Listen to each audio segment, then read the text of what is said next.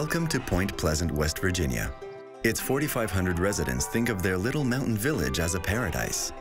John Denver thought so too. He immortalized the region in his famous song, Take Me Home, Country Roads. Point Pleasant is located where the Ohio and Kanawha rivers meet in a quiet setting that blends touches of history with still affordable family homes. Today, Point Pleasant is as peaceful a place as its name suggests. But it wasn't always so. In the 1960s, a series of frightening events occur. At first bizarre and disturbing, then suddenly tragic. The story begins when several villagers have close encounters with a semi-human flying creature. Eyewitness accounts put Point Pleasant on the map. It becomes one of the most visited spots in the United States for seekers of paranormal phenomena. It's been over 45 years since the first sighting, but it remains one of the great unexplained mysteries. We kept the kids in at night. We didn't allow them out. Six to seven feet tall, gray in color, uh, large wingspan, 10 to 12 foot wingspan. Seven foot tall with a wingspan of 50 feet with glowing red eyes. Six feet tall with the big wings and the, the red eyes, because everybody says there's red eyes. Like, you can't miss that detail. Those eyes, that's, that's what Harold did. It was just a red a lot of people says it glowed. I don't know about that. I just know it was a red like you never seen red. Uh, one person thought it was a helicopter.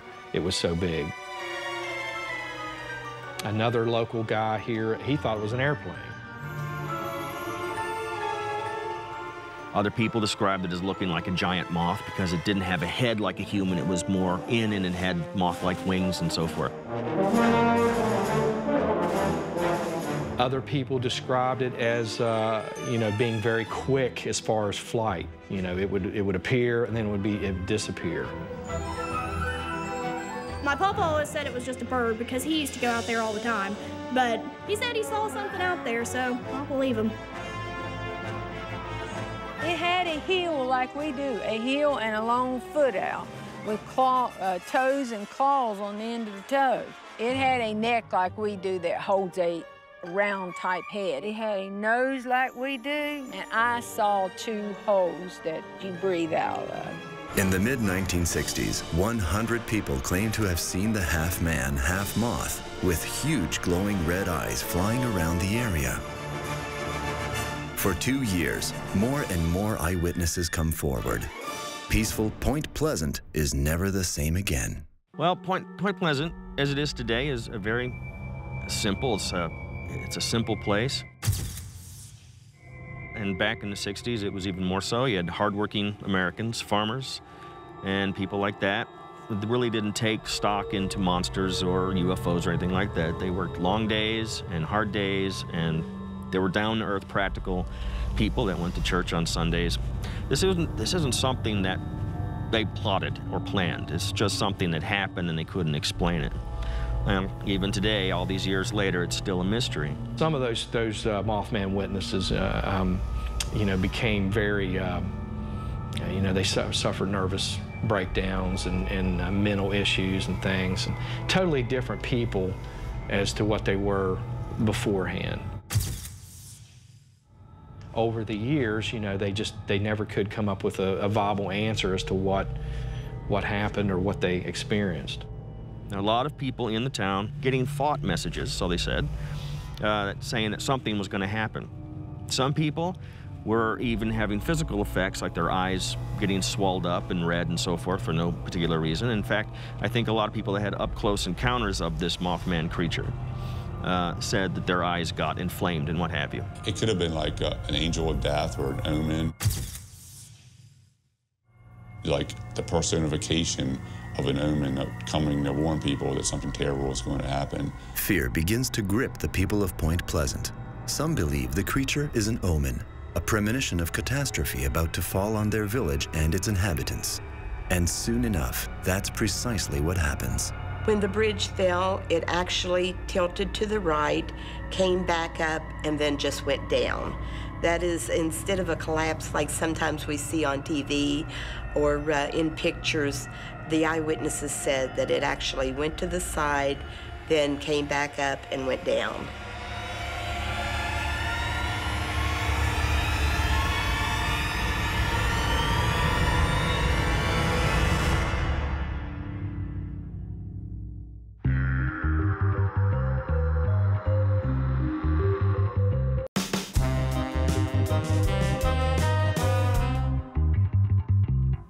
It's late evening, November 15th, 1966.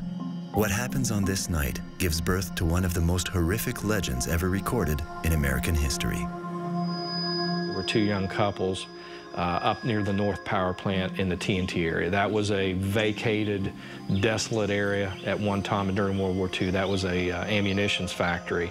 That's how it got us named the TNT area. They were driving around up there about 11 o'clock at night. Um, they came across what they thought was a man standing in the road in, in front of their car. They noticed something standing next to the plant, uh, which looked like a very large man in dark clothing or uh, a cloak and what have you, and they noticed these two glaring red eyes. Linda Scarberry was one of the witnesses, said that uh, they were about uh, size of baseballs, about two inches apart, and then she noticed wings flapped around on its back, and she said they reminded her of angel, angel's wings. As the car got closer, she said the wings came out, and this creature or, or being or whatever ran into one of the, the uh, vacant power plant buildings there called the North Power Plant. And kind of spooked the ladies, and they picked up speed, and they noticed as they looked behind them uh, that this thing was actually chasing them. That's when this thing came over top of their car. Uh, they were doing 90, 95 miles an hour in, the, in this car coming back to town, and intermittently this thing would come over the car, then disappear, come over the car, and it chased them back into the city limits, and then it disappeared. And they were thoroughly terrified, but they got home uh, and told their story. And during this time that started the, the ball rolling on the whole Mothman legend, as it is, one of America's creepiest urban legends. Immediately after the, the two couples saw this thing in the TNT they went to the sheriff's department. Now, the sheriff's deputy saw how upset they were. They knew that they, you know, they weren't making this story up. Uh, they sat down and wrote down everything that they encountered. And then the police went up there to investigate.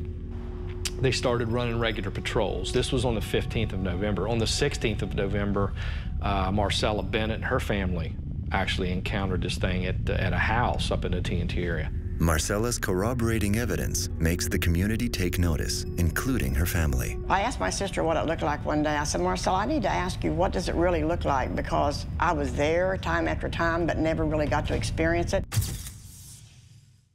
And she said, you know what, Carolyn?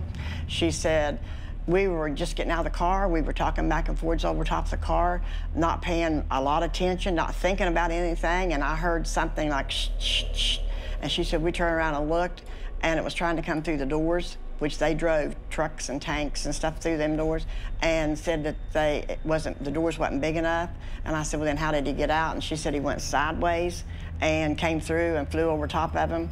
She said, when I looked up and seen them big red eyes, he said, we were out of there. I can't tell you what the rest of it looked like. You can go right down the line through November. You know, there was all kinds of sightings after that. Then the police department started taking it a little more serious. The official record of so many sightings marks a turning point. The residents of Point Pleasant start taking the reports seriously. Many believe something is living near the abandoned munitions plant, something beyond curious, a creature that might actually harm them, and it has a name.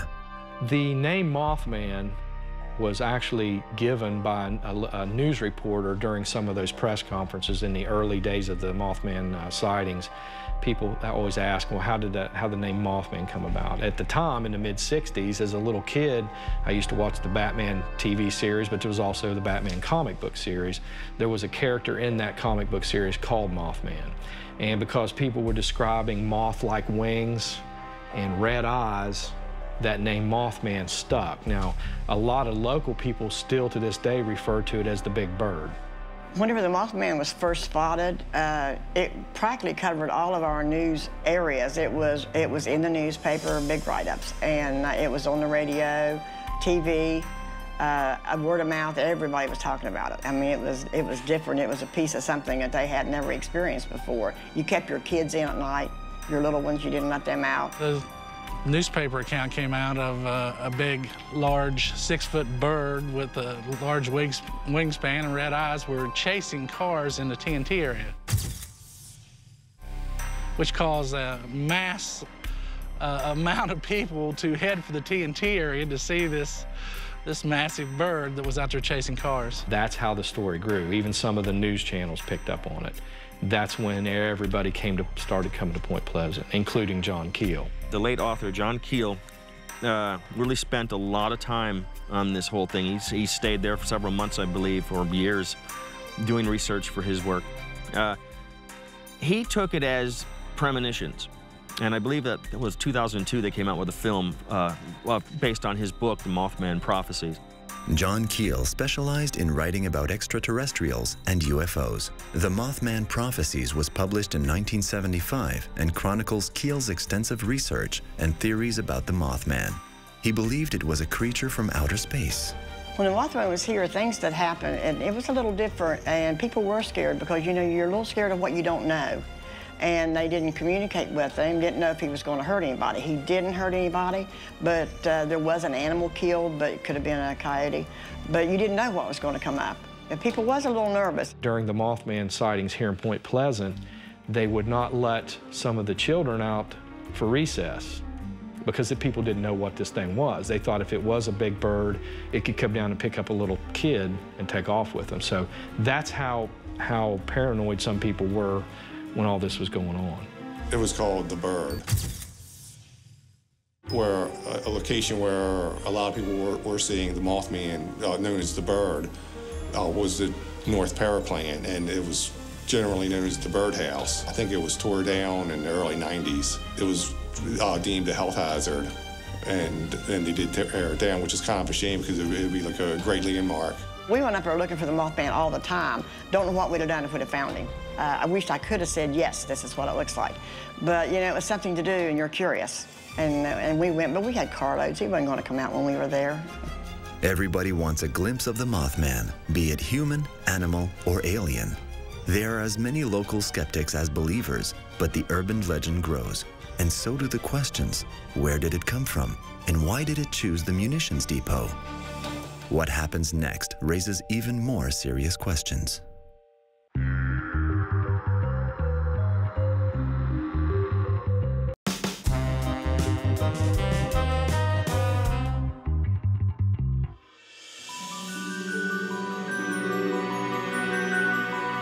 The people of Point Pleasant, West Virginia are used to seeing peculiar apparitions, but nothing like the mysterious and fearsome Mothman.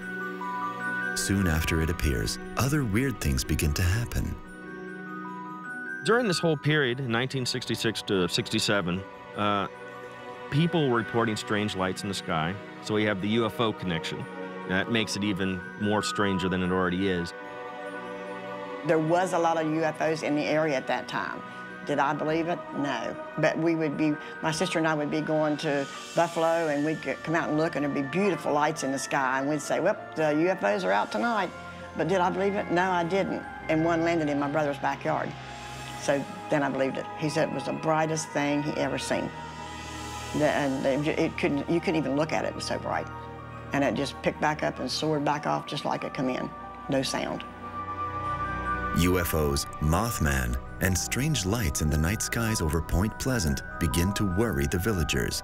Then events take a bizarre twist. This time, it happens in broad daylight. As soon as people started reporting these uh, uh, Mothman and UFO sightings, people started seeing uh, these so-called men in black. Just like in the movies, you know, the black hats and sunglasses, and they were going around intimidating people saying, don't talk about this. They didn't know if they were government agents, if they were law enforcement people, or if they were from another realm. We would see the men in black standing around on the street in the daytime. I mean, if I go to the bank and get change up the street, they'd be standing there staring, just staring. Some of those witnesses started saying, hey, you know, these people are coming to our door and asking us questions and, and telling us not to talk about it to anybody. Uh, the local newspaper reporter, Mary Hyre, said they would come into her office and she didn't know them. They didn't identify themselves, but they were adamant about her not reporting these details to the newspaper and to the media. So that started to worry a few people because they didn't know what agenda these, these so-called men in black had, but they weren't real happy about people discussing the UFOs or the Mothman sightings.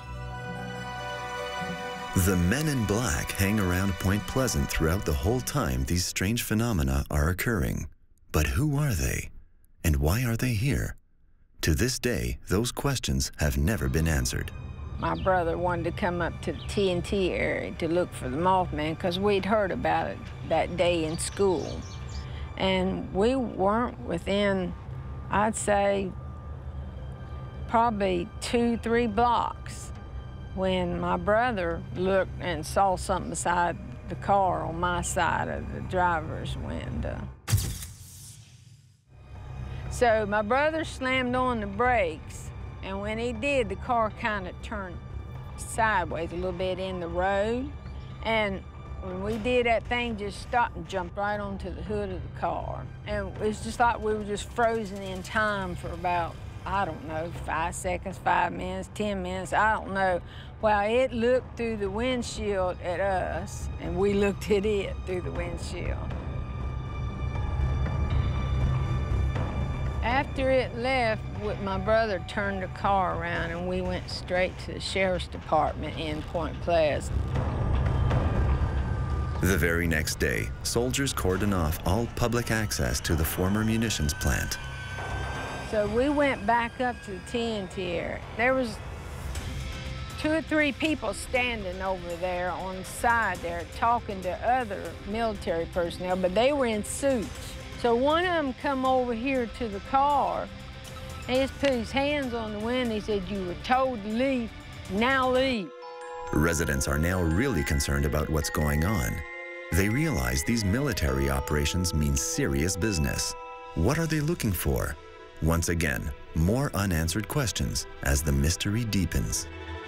One of John Keel's books, he talks about, it may have been actually, might be Mothman Prophecies, he talks about window areas which are like um, parts, like areas of, of uh, land or some, like in various places around the earth and the globe that uh, they're more akin to like paranormal activity. And I think that's what uh, Point Pleasant is. There were several people, including John Keel, that was receiving uh, prophecies for future events, some of which came true, some of which didn't. Um, there were strange phone calls and some of these calls involved voices that were giving these prophecies.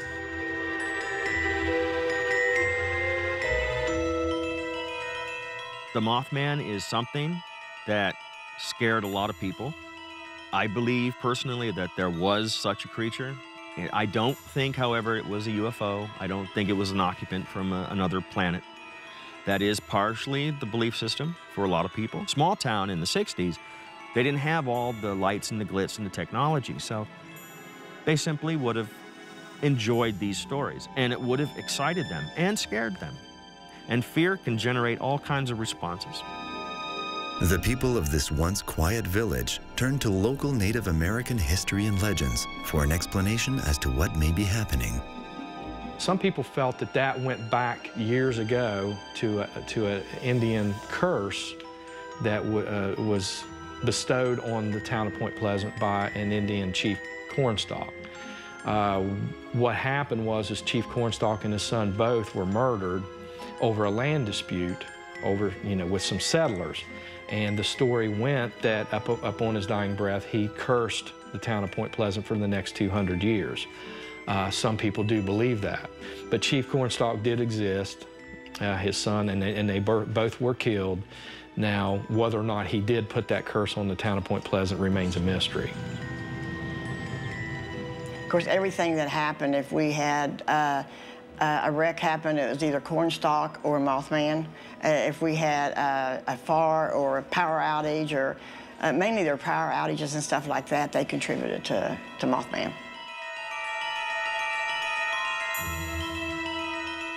As far as the Mothman goes, I, I believe it's just something we haven't discovered yet, or something that did exist and may have died.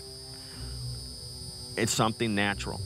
Is what the bottom line is. Now, the supernatural element is as romantic and uh, as elegant as it is, will be very, very hard to prove.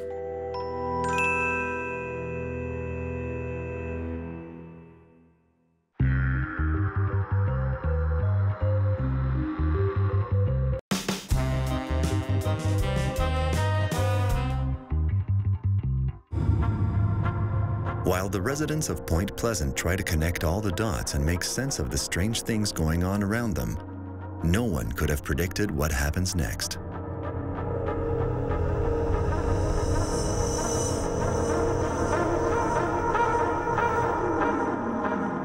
In November of 1966, you know, the Mothman sightings began, the UFO activity, the men in black.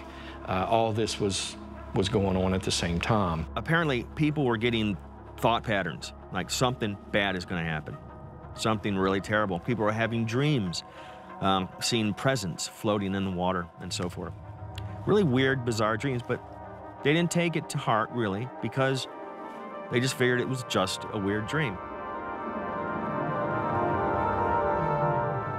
In December of 1967, uh, December 15th, the Silver Bridge, which was a 40-year-old bridge right here in downtown Point Pleasant, collapsed uh, on a Friday evening during rush hour, uh, killed 46 people. This event brought more attention to Point Pleasant besides the, the Mothman sightings. Some people felt that it was just a very odd timing to the Mothman activity and the UFO activity. They felt that there may have been some sort of a connection. Obviously, the it was a terrible tragedy. The the we knew most of the people that went down on the bridge. In fact, the, the parents of the mayor at that time was, was were on the bridge. Uh, a little girl that was in my classroom was on the bridge with, with her parents. Some people claim to have seen a large bird flying back and forth across the river days before that bridge fell.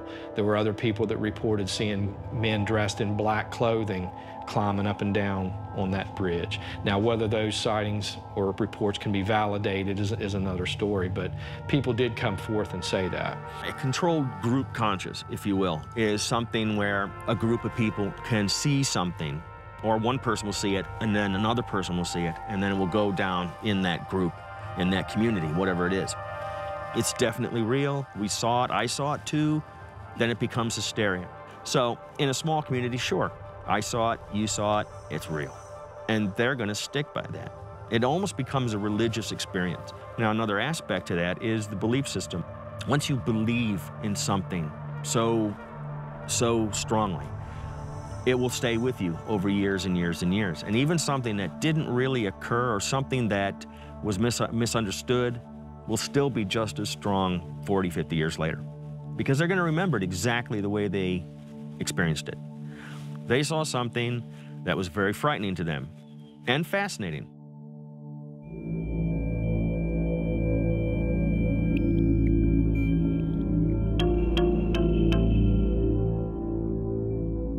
Lot of those people were not real thrilled about seeing it. Uh, they didn't, uh, some of them would not even go out at nighttime. You know, they, they became reclusive. Um, they felt that something was always looking over their shoulder or in their area of, of where they were, very paranoid. They didn't really like the attention they were getting from, from the townspeople because people thought they were crazy or, you know, loony or whatever. And that's why a lot of those witnesses, even to this day, will not discuss it. They won't admit that it didn't happen. They, they, will tell me it did happen. They saw it with their own eyes, but that's, that's all they want to say about it. Jeff has always been interested in strange phenomena. His obsession with the mysterious Mothman took root in childhood. He's spent years accumulating enough evidence to fill his Mothman museum. That makes him a leading authority on the creature and where it's likely to be seen. Okay, these, these structures have been here for well over 60 years. They're relatively untouched. As you can see all the detail on these, you, you can actually walk underneath, you know, look underneath, and, and they're very eerie, especially at night, especially when the fog starts setting out here. They're basically the same as they were back during World War II. When the war ended, uh, they just left everything. They never tore anything down. And uh, during the Mothman sightings, you know, a lot of people thought that whatever this thing was, was either roosting or staying in this, this general area up here in the TNT area.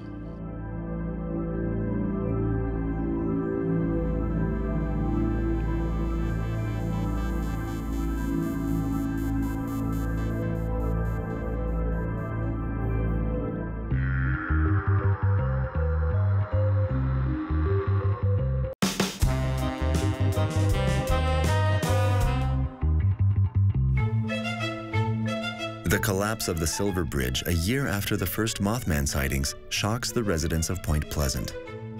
Engineers offer plausible explanations about why the 40-year-old bridge collapsed, but some people aren't so sure. They link the tragedy to unnatural causes. Some people say that the um, Mothman had something to do with the Silver Bridge falling. My answer to that is the Silver Bridge fell because of a cracked eye bar. There was one eye bar that was uh, prior to the uh, Ohio uh, Tower on the bridge. It cracked, and that is what caused the bridge to fall. Now, the 13th pin, strangely enough, that held the bridge together, and scientifically speaking, or engineer from an engineer's point of view, when they did tests on the bridge after the accident, after it collapsed, they said that it was no wonder it didn't collapse earlier.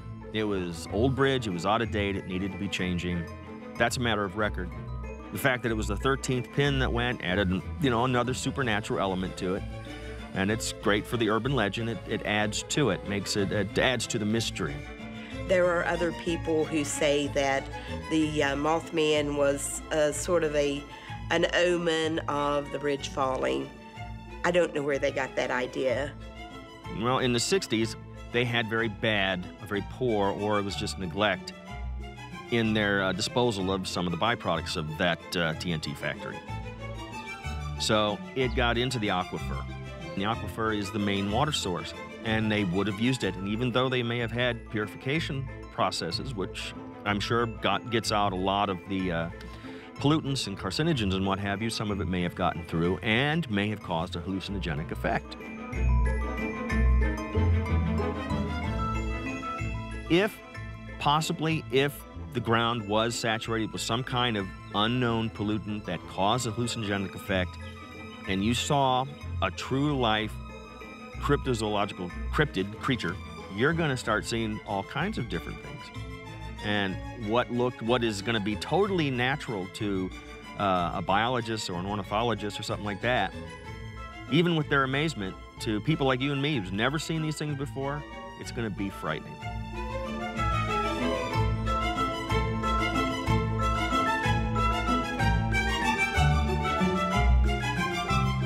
I believe there's a lot of things that I just don't understand. And with that, I take it with a grain of salt, but I don't discredit what people are saying they're seeing.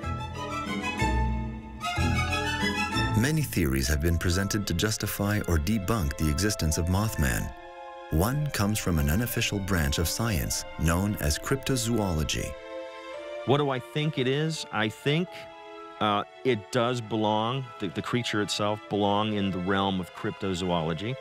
I think that uh, crypto meaning it's something different, something out of place, not natural to be found. And every once in a while, nature spits out something that shouldn't be there. And I think this is one such case.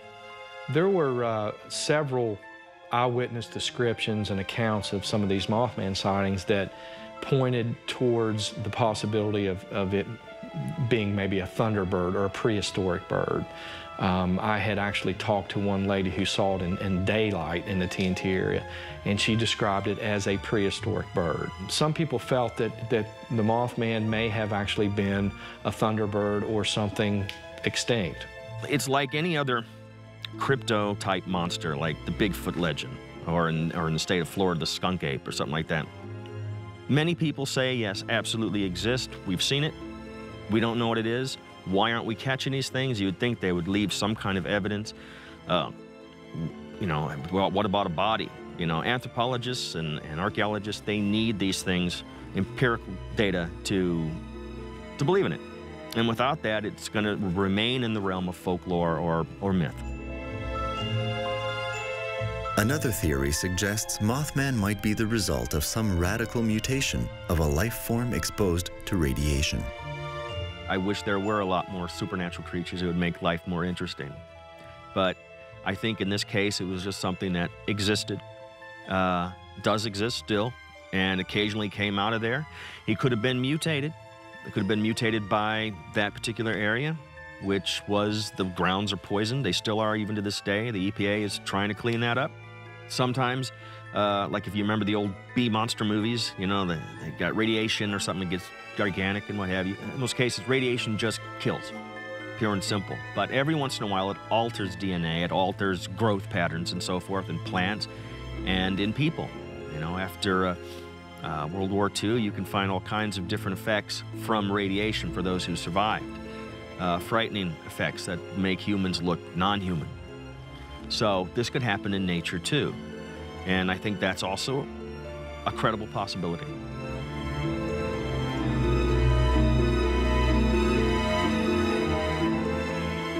I think after the Silver Bridge collapsed, the, the whole town was in a state of shock. I mean, they'd never seen a disaster, you know, on that, that scale of, you know, 46 people, uh, you know, perishing in a, in a bridge disaster. It was the worst, worst bridge disaster in, in American history. Still, still is. But I think it, it you know, it, it's, there was so much going on. People had a hard time um, absorbing all of the, the activity and the attention. But you know, people still, you know, we're in the TNT area, you know, years and years, even to this day. It's, it's really difficult to, to say that, that that book will ever be closed on, you know, what this Mothman or large bird actually was. That's the whole beauty of the, the Mothman stories. People are always looking for answers.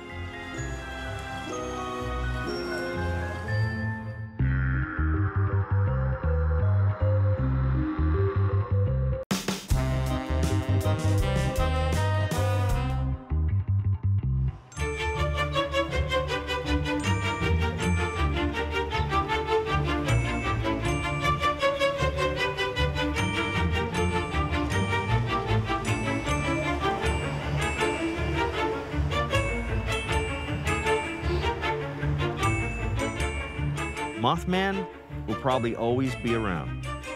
I think the idea of this creature will always be around. It may indeed be something from the realms of complete supernatural, and it may blow our socks off someday by presenting itself. Maybe it is an alien life. I can't discount that. My personal belief system is that it's just a misidentification. It's a great story, though. I think if, if 20 years ago somebody would have came forth and said, this is what it was, here's the proof, here's the documentation, book closed, you know, we wouldn't be sitting here right now. We just don't know until it dies in the woods and the forestry department picks it up and it becomes news and it goes in the classroom school books, it's going to remain the monster that we know it is today. Whether Mothman is fact or fiction, horror or hoax, the creature towers over the daily life of Point Pleasant. Instead of ridicule, the Mothman book and movie has brought fame and fortune to this little village on the Ohio River. The movie changed things by putting us out there, putting Point Pleasant on the map. A big part of the climatic part of the movie is the bridge falling. Then now everyone wants to ask you about the Mothman, and, and anywhere you travel, if you're from Point Pleasant, always the first thing someone asks you about is, is the Mothman. But people had a hard time seeing that movie in town. Uh, it, it's hard to watch that bridge fall, and it's hard to watch the, the, the Mothman parts about it. When that movie came out, the floodgates just opened, and you know the the town was just overrun. You know, people coming here, you know, they wanted to go where the, uh, you know, the, this actually happened. I knew right then that it, it, would, it would change the town.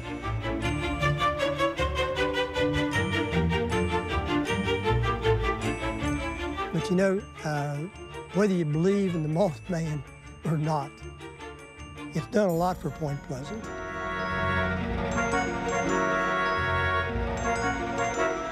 Mothman Festival is the single biggest attractor from throughout the country and the world that we have in, here in Point Pleasant. You can't drive down Main Street because it's full of people. And they come from all over the world. Now, we've had people from China, Australia, Japan, England. They come from every place to come to this Mothman Festival. After the movie, The Mothman Prophecies, came out, Jeff and Carolyn Harris came up with this idea that we should have a festival each year to bring all the people that would be interested in something like that. I was talking to Carolyn one day and I said, you know, uh, we ought to try maybe a Mothman festival or a convention, something like that. This, this was in November of 2002. This was just months after the movie came out. And we, we decided to give it a go. We decided like in October of that year to have it. So we only had a month. We didn't advertise. Uh, we didn't we didn't really get it out to the media much, but we had four or five hundred people just show up by word of mouth, and that was the catalyst for what now is the 12th year of the Mothman Festival.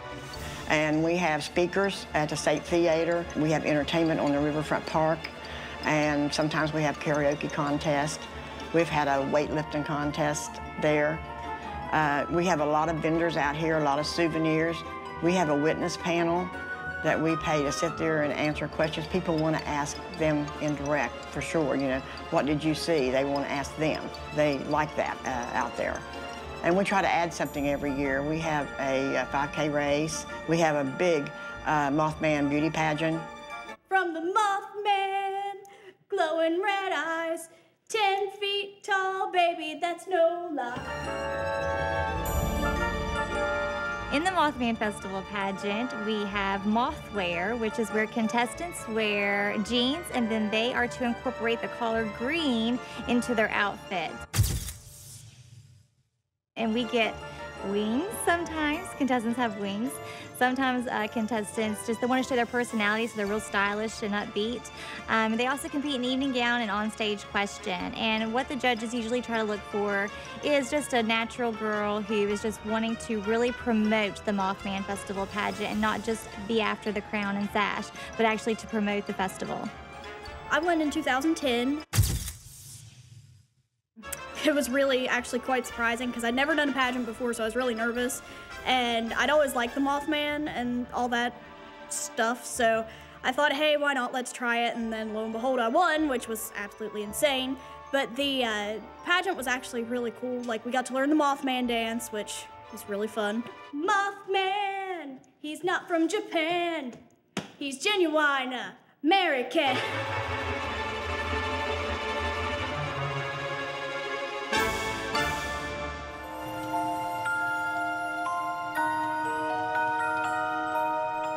People come from all over the world, literally, and that's why we call it the world's only Mothman Museum.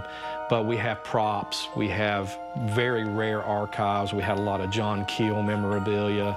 We carry merchandise, and we started, uh, you know, just opening two or three days a week. Now we're open seven days a week.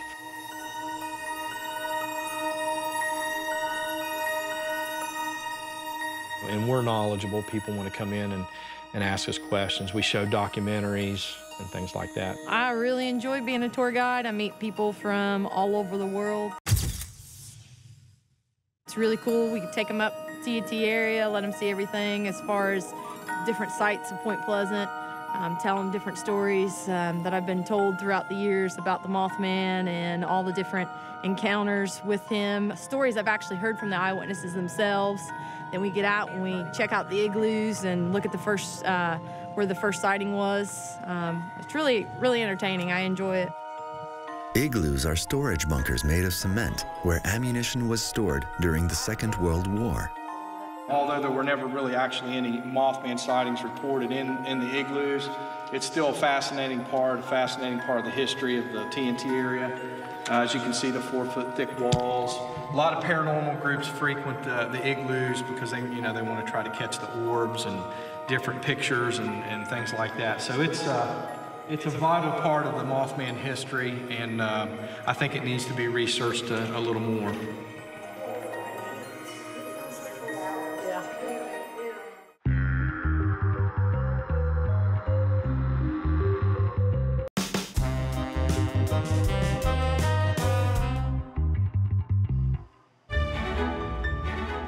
It's been nearly 50 years since the Mothman and the Men in Black spooked a little village in West Virginia.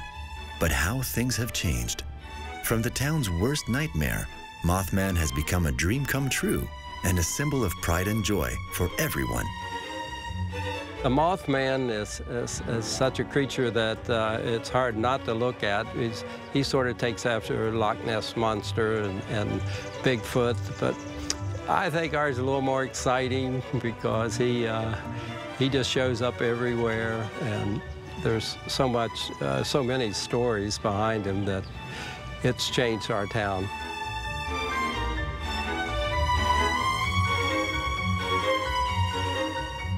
One of the main attractions here in downtown Point Pleasant is the world famous uh, Mothman statue.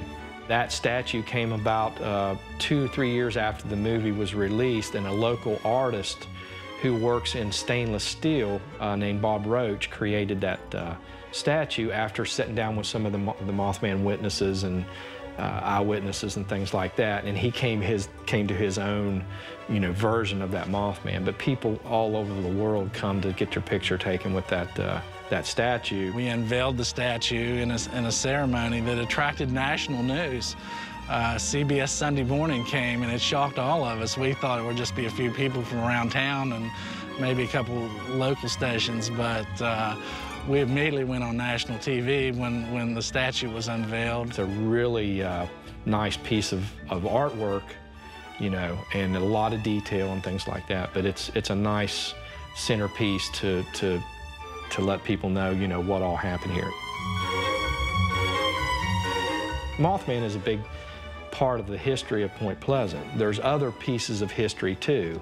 We have a Mothman tram that run, goes around through town. You can board it out here, and it'll take you to all of our entities that we have. Uh, River Museum, behind the flood wall for the murals, uh, the Silver Bridge Memorial, uh, anything, anything we have at Fort Randolph going on with the tram will take you to show you that we have more than just Mothman. We have the history and the mystery. Families come from all over. Groups come, bus tours come, governors come and get their picture taken with the Mothman. It's not a true uh, visit to Point Pleasant unless you get your picture taken with the Mothman. I don't know how to explain it, but they're here every day, just about all year long. I don't care if it's raining, snowing, or what, there's people getting their picture taken with the Mothman. It's, it's really been a phenomenon that uh, you would never think about, but it's here. I can't say for sure whether it's real or not. Uh, I just know that there's a tremendous amount of evidence uh, that it is. We invite everybody to come here. We'll take them and, and show them all, all the different uh, attractions that are geared, geared towards it and we'll let them make up their mind for themselves. The Mothman is a big thing with a lot of people. Uh, it's kind of put Point Pleasant on the map in most recent years. And people come just because they've heard of it, and it's sort of mysterious, and they want to see what it looks like.